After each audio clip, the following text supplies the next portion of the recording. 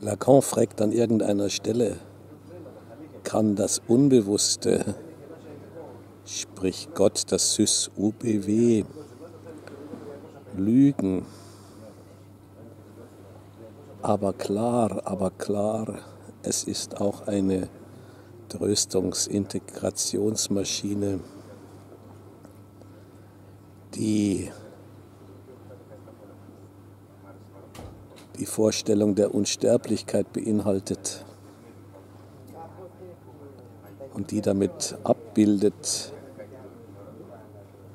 worum es geht bei der ganzen Chose.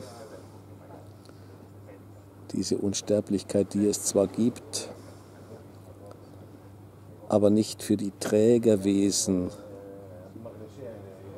des unsterblichen Prozesses eines sich bewahrenden und erhaltenden wollenden Keimplasmas, das sich nur auf Kosten der ersetzenden Metonymie-Reihe der Körper unsterblich erhält. Das Unbewusste ist also Agent der Matrix des Rhizoms, des Myzils. Und nicht Agent der ephemeren Pilzkörper, die aus den Acheronta ans Licht sprießen.